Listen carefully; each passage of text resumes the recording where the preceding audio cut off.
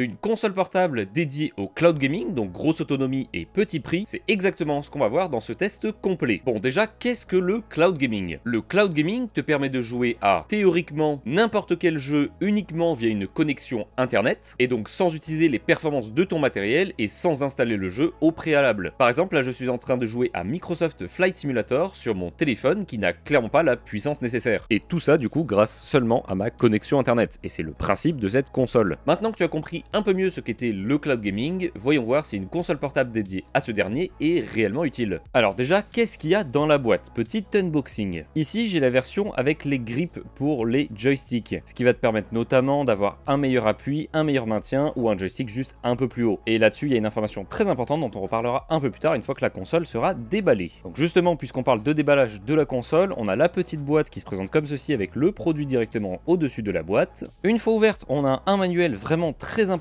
et très intéressant que j'ai pas du tout balancé par terre et qui va tout simplement cacher eh bien tout d'abord la coque de protection avec le produit dedans donc on va mettre de côté ainsi que le câble de rechargement et qui va être de l'USB-C vers de l'USB-A classique. Donc voici à quoi va ressembler le produit donc la console portable, il y a évidemment des petites traces de doigts parce que je l'ai quand même bien utilisé. Ce qui va tout de suite sauter aux yeux c'est l'apparence très euh, switchesque si je peux me permettre l'expression au niveau du design mais surtout des joysticks. Je parle pas de la couleur, je parle vraiment de l'apparence des joysticks parce que c'est ce que je voulais dire tout à l'heure, c'est que les petits grips ici sont en fait conçus pour Switch OLED et Switch normal, donc pour Switch. Donc c'est exactement le même design de joystick. Donc si tu connais le confort des joysticks Switch, tu connais le confort des joysticks de cette manette. Donc voilà, d'apparence ça fait vraiment très très Switch. Après en termes de finesse et de poids, ça n'a rien à voir. Peux le voir tout de suite, voilà, c'est très très fin. En termes de poids, tu peux pas le voir, mais c'est euh, très léger. Sur la partie de gauche, justement, on va retrouver bah, la petite flèche directionnelle, le petit joystick de gauche, des petits boutons où je vais vous expliquer juste après à quoi servent. On va également avoir le petit bouton supérieur ainsi que la petite gâchette. De l'autre côté, ça va être la même chose, petite gâchette, petit bouton supérieur, mais ici on va avoir les boutons A, X, Y, B, le petit joystick, et encore une fois, deux boutons qui seront bien euh, utilisables, je vous expliquer juste après pourquoi. Et on peut également voir les petits haut-parleurs ici, donc un ici et un ici pour un son stéréo, et qui très honnêtement sont très bien placés, c'est-à-dire qu'ils ne vont pas gêner au niveau de la main. En tout cas, la main ne va pas gêner les haut-parleurs. Sur la tranche inférieure, on va retrouver le petit connecteur USB-C, un petit port jack pour des casques, écouteurs, etc.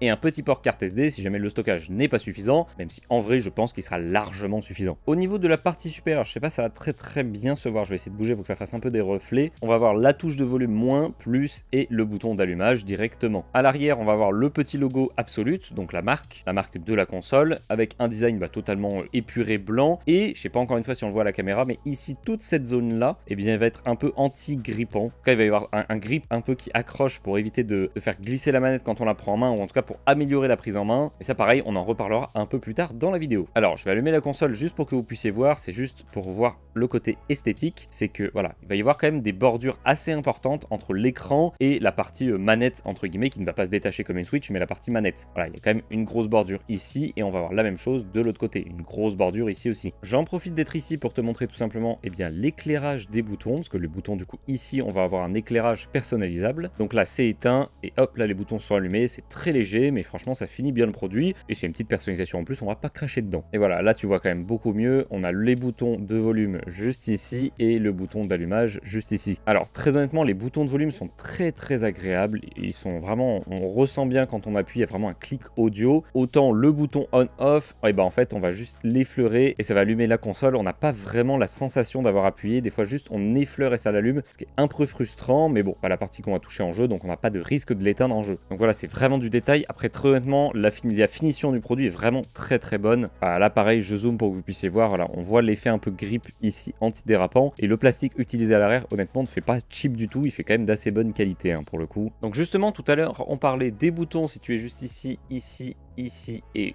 ici, eh bien je vais te montrer très rapidement à quoi ils servent. Ils ont des fonctions propres à chacun qui sont assez utiles. Donc on va retrouver déjà le bouton juste ici qui va permettre de revenir au menu de la console. On va avoir le petit bouton ici qui va simuler la touche PS d'une manette PlayStation ou la touche Xbox d'une manette Xbox. Donc si j'appuie, hop, on va ouvrir bien le menu Xbox directement pour quitter par exemple le cloud gaming, inviter des amis en ligne, voir les trophées, etc. On va avoir le petit bouton juste ici qui va par exemple pouvoir afficher la map du jeu, qui correspond en fait à la même touche qui est située aux mêmes endroits sur les manettes de PlayStation et de Xbox, donc la touche qui est en haut à gauche. Et du coup, même principe pour la touche en haut à droite qui va permettre, hop, d'aller dans les options du jeu. Donc en fait, c'est la touche option directement. Et petit truc sympa, c'est que si tu appuies sur cette touche là et cette touche là en même temps, donc comme ceci, tac, tu vas pouvoir faire un petit screenshot. Et ces touches-là sont personnalisables. Tu peux changer le raccourci pour faire un screen. Voilà, donc maintenant qu'on a fait le tour de ce produit, eh bien voyons ce qu'elle vaut au niveau d'abord de l'interface. Donc déjà, il faut savoir que cette console de chez Absolute est basée sur Android 12. Mais comme tu peux le voir, l'interface est entièrement travaillée et optimisée pour une utilisation simple, rapide et légère. C'est donc un launcher entièrement créé par Absolute. Honnêtement, l'interface, je trouve que c'est une très très grande réussite et une très bonne surprise. Attention tout de même, elle ne dispose pas des dernières mises à jour de sécurité, donc évite de consulter tes comptes bancaires par exemple. Tu retrouveras bien évidemment les classiques d'Android, le Play Store, les paramètres, même si Absolute a également créé des paramètres qui sont propres, qui sont plus condensés avec uniquement ce qui est vraiment très utile, et avec des options en plus qui sont propres à la console, comme le changement de fond d'écran de l'interface, ou encore le changement des couleurs des boutons de la console. Car oui, les touches sont rétroéclairées et tu vas pouvoir choisir la couleur précise qui est plutôt pas mal. Bon, bien que le launcher soit plutôt bien optimisé, il y a quand même pas mal de lenteur avec la console, principalement à l'allumage quand même. Après un certain temps d'utilisation, les lenteurs disparaissent, mais c'est principalement dû à un processeur très léger dans la console. Après, ces lenteurs qui sont dues du coup au processeur ne sont pas dérangeantes sur du cloud gaming, et les performances de ce dernier sont suffisantes pour du visionnage de contenu vidéo, comme YouTube, Netflix, Prime Video, etc. Par contre, clairement, on peut oublier les jeux du Play Store, donc un petit Candy Crush, ça peut passer, un petit Call of Mobile, ça passera pas du tout. Donc parlons maintenant de l'utilité première de la console, donc le cloud gaming. En service disponible, on retrouve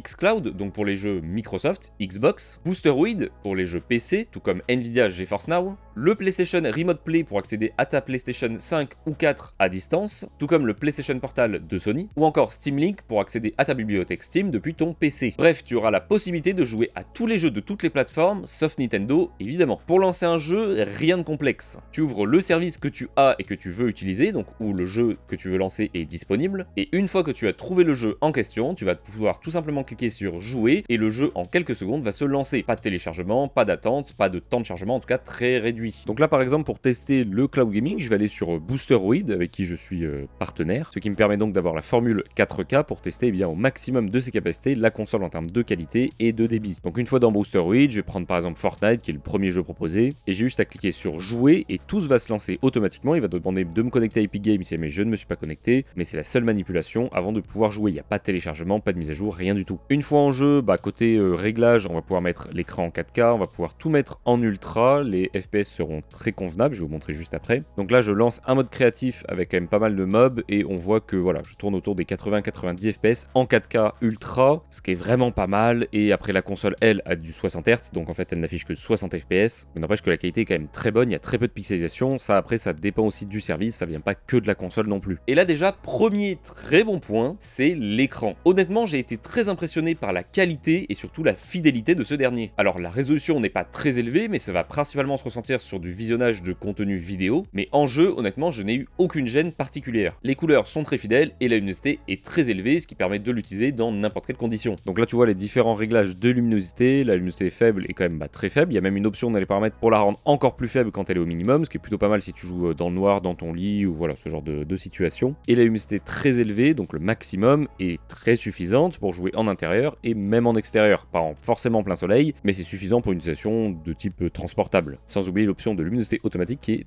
évidemment pas mal du tout. Du côté du son, les haut-parleurs intégrés sont franchement très sympas, sans non plus être exceptionnels. Ils vont principalement manquer de basse, mais ça reste quand même utilisable. A noter tout de même qu'il y a la possibilité d'utiliser des écouteurs, un casque ou même une enceinte en Bluetooth ou en jack via le port qui est situé en dessous de l'appareil. Du côté des boutons et des joysticks, c'est plutôt convaincant et plutôt agréable. Il n'y a pas la sensation cheap qu'on peut retrouver sur certaines manettes sur le marché, et le plastique utilisé de manière générale sur le produit ne fait pas non plus cheap. Bon, clairement, tout ce que je vous ai dit autour des boutons et des joysticks qui sont de très bonne qualité, c'est vraiment le cas. Par contre, c'est pas le cas de la croix directionnelle qui est un peu cheap. Après, honnêtement, je ne l'ai jamais utilisé, mais du peu que je l'ai utilisé, c'était quand même imprécis et pas de très bonne qualité. Du côté des gâchettes et des boutons supérieurs, personnellement, je les ai trouvés un peu petits, mais ça va principalement changer en fonction de la taille de ta main et de tes préférences. Vu qu'on est dans les joysticks, boutons, croix directionnelle et gâchettes, on va parler aussi de la prise en main, parce que c'est plutôt important sur ce produit-là. Comme j'en parlais un peu pendant la phase unboxing et premier avis, les bords de l'appareil sont pas totalement arrondis mais sont pas totalement en angle droit non plus, mais il y a un petit côté un peu grippant, ripant et coupant. Alors je me suis jamais coupé avec le produit non plus, mais c'est juste que ça va déranger un peu pendant des sessions de jeu plus ou moins longues. Personnellement, la prise en main m'a un peu dérangé dans l'idée où bah, j'ai pas forcément l'habitude d'avoir une Switch par exemple, c'est un peu la même prise en main qu'une Switch en termes de taille de produit. Pas très fan de la prise en main de la Switch, et du coup je retrouve ce, ce côté pas très fan sur ce produit-là aussi. Après ça reste plutôt personnel du coup. Qui par contre va être un peu universel, ça va être la prise en main à l'arrière du produit, vu qu'il n'y a pas vraiment d'épaisseur, vu qu'ils ont fait un choix de finesse la plus fine possible, eh bien les mains vont avoir du mal à vraiment agripper le produit, on va avoir l'impression de pas perdre le produit dans la main, mais de pas vraiment le tenir, donc on va un peu se, crisper. A noter également que cette petite console dispose du gyroscope et dispose de vibrations également, qui sont proches en termes de ressenti d'une manette DualSense de chez Sony. Bon, tout ça c'est très beau, ça aide dans l'utilisation et l'expérience audiovisuelle de la console, et l'expérience également gaming, mais qui dit cloud gaming dit forcément connexion internet. Donc évidemment, le point très important à noter, ça va être le Wi-Fi. la console ne dispose pas de Wi-Fi 6, 6E et encore moins de Wi-Fi 7, mais les antennes qui sont intégrées et donc le Wi-Fi 5 qui est également intégré font clairement suffisamment le job. Donc là, via le test de débit que tu vois sur ton écran, bah, ça permet de voir à peu près la connexion internet euh, maximale entre guillemets du produit. Donc là, c'était un test de débit de manière générale avec des serveurs, par exemple, bah là c'était NPerf. Si on fait un test de débit sur Boosteroid, qui est beaucoup plus pertinent dans l'idée où le test de débit du coup sera avec les serveurs de Boosteroid, donc c'est le même débit que tu auras en utilisant Boosteroid. Bien là, encore une fois, on voit que le débit est très bon, la latence est très bonne et permet de jouer convenablement. Mais évidemment, ton expérience sera impactée si tu as une plus ou moins bonne connexion internet. Bon, clairement, de tout ce que j'en dis, cette console a beaucoup pour plaire. Elle a évidemment des défauts qui sont principalement causés par un prix relativement bas, mais elle a tout de même réussi à me convaincre et à me créer un besoin et une utilité. On va dire que le défaut principal et majeur de cette console, mais en fait ça marche avec toutes les consoles en cloud gaming, c'est l'obligation d'avoir une connexion internet pour pouvoir jouer et pour pouvoir s'en servir. Et quand je dis connexion internet, c'est connexion internet avec un minimum de puissance. Donc en gros, tu peux oublier le train, l'avion ou même le wifi gratuit. Alors certes, tu peux contourner ce problème dans certaines situations avec un partage de connexion 4G ou 5G depuis ton téléphone, mais par exemple dans le train, la connexion coupe quand même régulièrement, donc la session coupe, donc c'est pas possible d'avoir une vraie session de jeu dans le train par exemple. Vu qu'on est dans le côté justement transportable et portable de cette console, l'autonomie est un point très important, et justement, c'est peut-être le meilleur point de cette console par rapport à la concurrence. L'autonomie annoncée par le constructeur, par le fabricant donc Absolute, est donnée à 8 heures. De mon côté, j'ai approximativement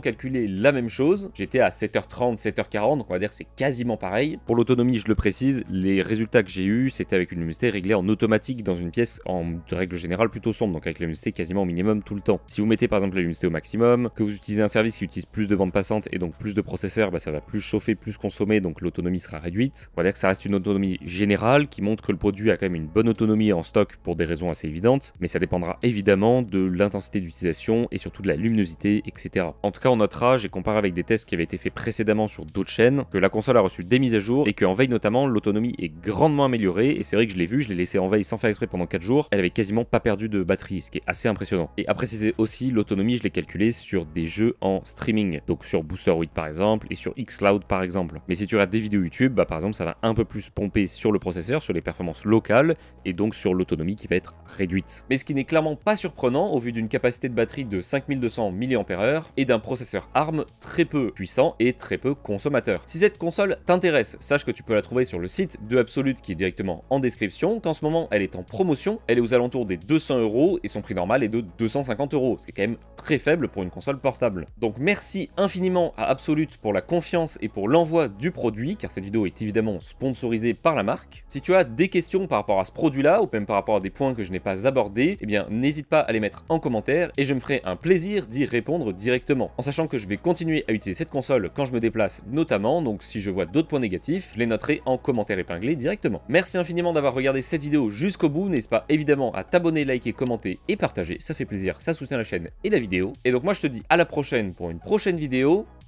Ciao ciao